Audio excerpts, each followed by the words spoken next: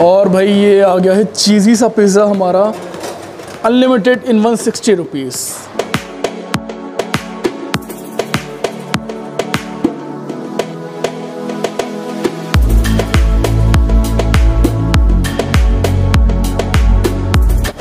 ओए होए, ये बढ़िया लग रहा है यार। अच्छा लग रहा है काफ़ी ज़्यादा।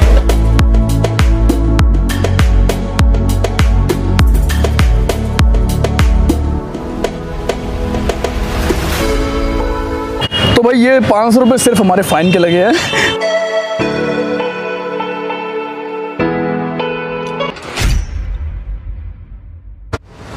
Foodies welcome to our channel foodie सांड गाइस एक बार फिर एक फ्रेश सा एपिसोड अनलिमिटेड फ़ूड सीरीज़ का आ चुका है और इस बार लुधियाना में आपके लिए बुफे लाए हैं। और वन सिक्सटी रुपीज़ में ऐसा बुफे है, इतना सारा खाना है 18 आइटम्स है इसमें कि आपके मुँह में पानी ज़रूर आ जाएगा। और वो भी ना इतनी हाइजीनिक वे में है, बिल्कुल एयर कंडीशन है, आप बिल्कुल बैठ के अंदर खाएँगे, आपको लगेगा कि भाई ये सब तो पाँच सौ छः सौ रुपये में भी नहीं आ सकता, वो वन सिक्सटी रुपीज़ में।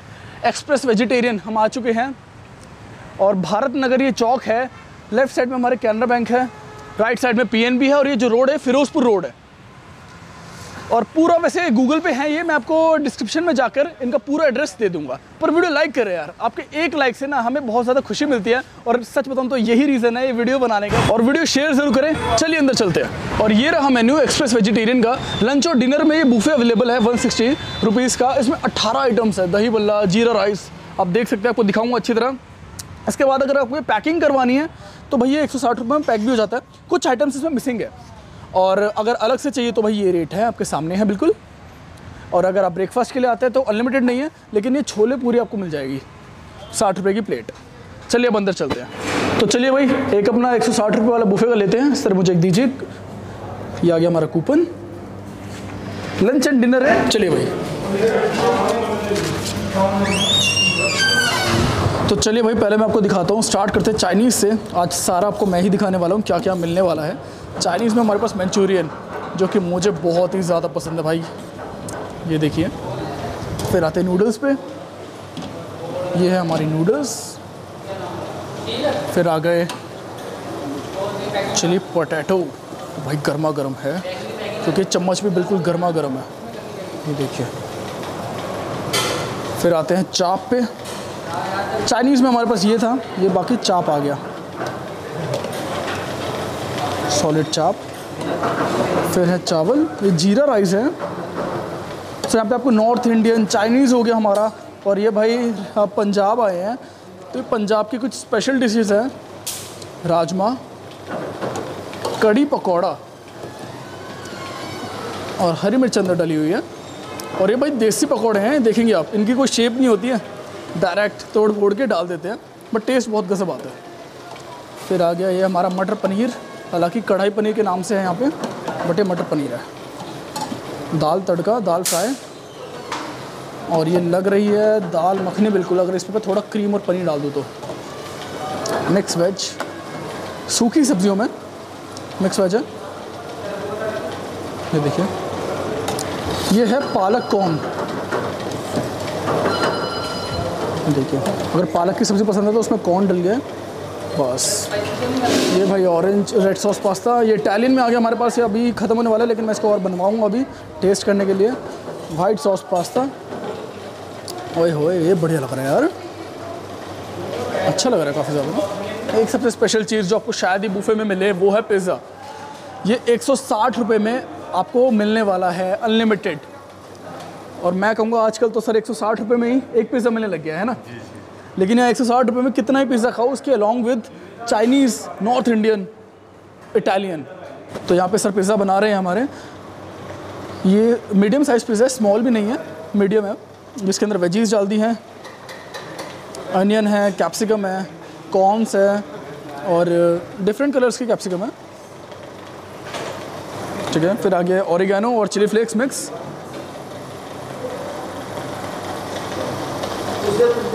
ये देखिए। फिर आ गई चीज़।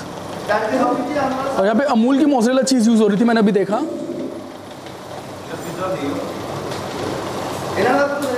बढ़िया यार, काफ़ी सही क्वांटिटी में है।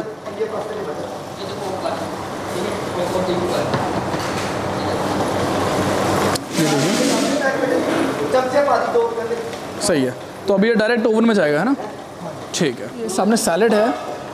ग्रीन सैलड पूरा प्रॉपर कटा हुआ है, खीरे, प्याज, और ये यहाँ पे अचार भी है, बाकी दही बल्ले मैं आपके लिए चला के दिखाता हूँ आपको। ये देखिए भाई, दही हो गई और ये भल्ले है। फिर आ गई ये चटनी इनकी, ये लकड़ी की चम्मच। पतली सी चटनी है लेकिन उन्होंने कहा था कि यहाँ की स्पेशल चटनी है। आमचूर का यूज़ करते हैं इसमें। बाकी नॉर्मल सैलड है। ये थोड़ा सा मिक्स सैलड जो शादियों में हमें मिलता है, जिसके अंदर कैबेज वगैरह यूज़ होती है। कोई स्पेसिफिक टर्म होती है, मुझे नाम नहीं आ रहा इस वर्ड इसके कहने के लिए। बट यहाँ पे शादी वाला सिस्टम है पूरा, जितना चाहे उतना खा सकते हैं और एयर कंडीशन है पूरा। बढ़िया लग रहा है यार। यहाँ पे खाने लायक लग रहा है। यहाँ पे ऐसा नहीं है कि आप बैठ कर बस खाना सस्ते दे रहे हैं, बाकी फैसिलिटी नहीं दे रहे हैं, लेकिन अच्छी फैसिलिटी दे रहे हैं आपको यहाँ पे बैठने की। और भाई ये आ गया है चीज़ी सा पिज़्ज़ा हमारा। Unlimited in one sixty rupees सिर्फ़ यही नहीं, सत्रह आइटम्स बाकी हैं इसके अलावा। अगर आपसे पैक करवाना चाहते हैं एक पिज़्ज़ा तो वन ट्वेंटी रुपीज़ का पिज़्ज़ा है, जो कि मुझे तभी भी अच्छा लग रहा है वन ट्वेंटी रुपीज़ के हिसाब से। जो कि मीडियम साइज़ पिज़्ज़ा कटिंग कर दीजिए सर ये देखिए चीज़ी कितना लग रहा है यार। कोई कमी नहीं लग रही चीज़ की, और अगर आपको लग रहा है कि सिर्फ़ कैमरे के सामने है तो हमने लेफ़्ट साइड भी रखा हुआ है। ये भी, इनमें भी नियरली बराबर चीज़ डली हुई है।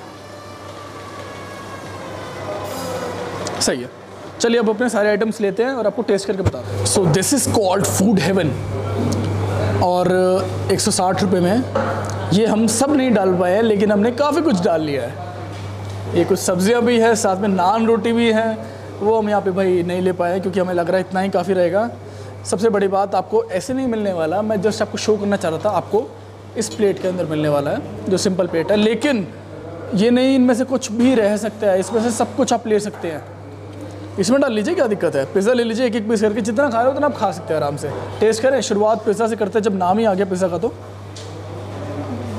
ये देखिए, थोड़ा इसने हमारा वेट कर दिया बट अब ट्राई करते हैं इसको।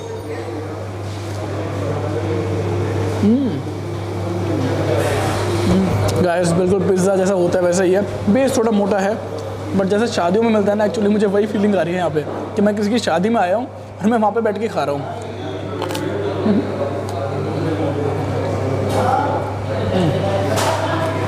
स्टार्ट करते हैं। थोड़े चाइनीज़ के साथ, जो कि मेरा फेवरेट मंचूरियन है यहाँ पे।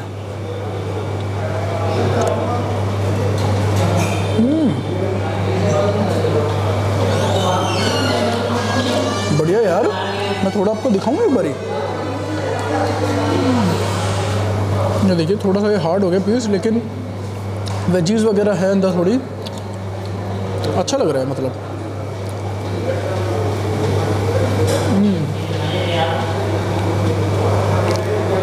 नूडल्स पे आते हैं।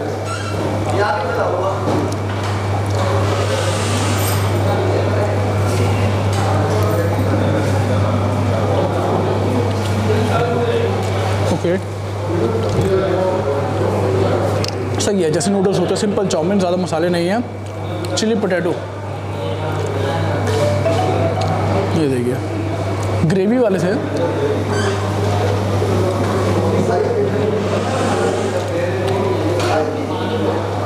नहीं, ये मुझे कुछ खास पसंद नहीं आया। थोड़े मीठे ज़्यादा हैं। थोड़ा जो स्पाइसी वाला जो बनाना चाहिए ना, थोड़े क्रिस्पी होने चाहिए, वो बात नहीं है। फिर भाई ये है हमारा चाप। ऐसा चाप भी ट्राई करें, बड़ा पीस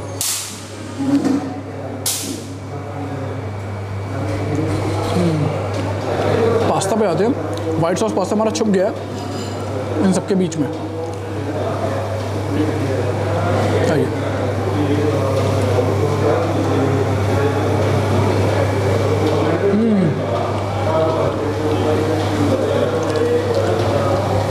नॉर्मल क्रीमी जैसा होता है थोड़ा बहुत। रेड सॉस पे आते हैं।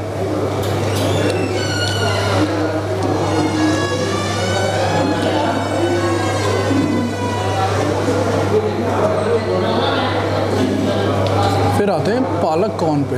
हालाँकि ये रोटी वगैरह के साथ आप खाएँगे बट मैं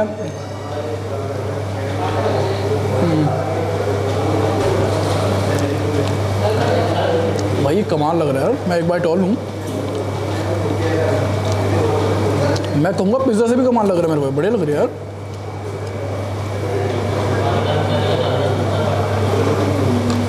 भाई, इतने सारे आइटम्स हैं तो मैं सब तो आपके सामने टेस्ट नहीं कर पाऊँगा। लेकिन आप लुधियाना रहते हैं तो आप यहाँ पे आके ट्राई कर सकते हैं। हम दही बल्ला से एंड करते हैं इस वीडियो को। ये थोड़ा दही ले बल्ला एकदम। सही है सॉफ्ट लग रहा है। आराम से टूट गया। इन्होंने मुझे स्पेशली बोला कि, सर, ये चटनी ज़रूर डालना। क्योंकि ये हमारी स्पेशल आमचूर की चटनी है।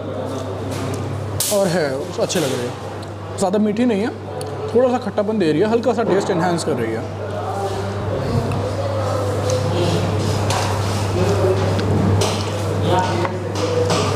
So guys one sixty rupees में आई थिंक ये बिल्कुल ही परफेक्ट डील है। इसमें, क्योंकि वन सिक्सटी रुपीज़ में आजकल आप देखेंगे तो एक अच्छे रेस्टोरेंट का खाना अफोर्ड करना थोड़ा मुश्किल है, और वो भी इतना कि आपका पेट भर जाए, और अगर पेट भी भरता है तो फिर वो एक स्पेसिफिक वैरायटी रहेगी कि भाई, एक थाली ले लिया आपने कुछ ले लिया। यहाँ पे आपके सामने इटालियन चाइनीज़ नॉर्थ इंडियन सब कुछ है आपके सामने। तो आपकी अपनी चॉइस है कि आप कुछ भी ले सकते हैं। एक रेस्टोरेंट टाइप ही खाना है मसाले का ज़्यादा ऊपर नीचे नहीं है, आपको नॉर्मल और सही चीज़ मिलने वाली है। टाइमिंग की बात करें तो भाई ये लंच और डिनर में अवेलेबल है, सुबह साढ़े ग्यारह बजे से चालू हो जाती है। बाकी डिटेल में आपको पता चल चुका है। बाकी डिस्क्रिप्शन में भी आपको पूरा एड्रेस के साथ इसकी इसकी टाइमिंग और डेज़ मिल जाएँगे। आप बताइए, क्या बढ़िया लग रहा है आपको इसमें से? मुझे सब खाना सही लगा। कुछ कुछ डिशेज़ जो हैं थोड़ी सी नॉर्मल है, जैसे कि चिलबेट मुझे कुछ खास नहीं लगे। लेकिन ट्राई करने वाली चीज़ें north Indian thali north Indian food जैसे कि मुझे अच्छा लग रहा है यहाँ पे। क्योंकि ऑब्वियसली पंजाब है तो यहाँ पे इन चीज़ों पर ज़्यादा ध्यान दिया होगा, क्योंकि पंजाबी है, उनको पहले क्या चाहिए? पहले राजमा चाहिए, पहले कड़ी चाहिए, उसके बाद आता रहे जो चीज़ आती है। वीडियो लाइक करके हमें सपोर्ट करें शेयर करें वीडियो, और अगर पहली बार आए तो सब्सक्राइब ज़रूर कर दीजिए। ऐसे बड़े बड़े कंटेंट आपके लिए लाते रहेंगे। थैंक्स फॉर वॉचिंग गाइस तो भाई ये पाँच सौ रुपये सिर्फ़ हमारे फ़ाइन के लगे हैं, जब हमने इतना सारा खाना लिया। और एक्चुअली गाइस हमारा क्या तरीका होता है? जब हम ज़्यादा खाना ले लेते हैं ना तो उसको फिर पैक करवा के या कुछ करके या तो कुत्ते को दे देते हैं, जो रास्ते में कुत्ते जा रहे होते हैं, उनको दे देते हैं, या फिर जो झूठा नहीं होता, वो पैक करवा के किसी गरीब में बांट देते हैं। बट यहाँ पे पैकिंग सिस्टम को ये मना कर रहे थे। तो इन्होंने हमारा फाइव हंड्रेड रुपीज़ का फ़ाइन लगाया और वन सिक्सटी रुपीज़ की पहले थी। तो हमारा छः सौ साठ रुपये का खर्चा पूरा बैठ चुका है यहाँ पे और बीस रुपये की कोल्ड ड्रिंक और जोड़ दी। पर यार मुझे मिली तो नहीं यार। कह रहे, ऐसा थोड़ी ना होता है, नहीं मिलेगी आपको। तो चलिए अपना अपना तरीका है। बट आप भी यहाँ पे आते हैं तो आपके लिए तो सौ रुपये खर्चा होगा, लेकिन हमने थोड़ा ज़्यादा फ़ूड लिया था तो इतना हमारा खर्चा बैठ चुका है यहाँ पे। तो खाना वेस्ट ना करें और ध्यान रखिए भाई, बच के रहे। जितना आपका खाने का बिल आ जाएगा ना, उससे ज़्यादा तो आपका वेस्टेज का बिल आ जाएगा। चलिए, चलते हैं आगे।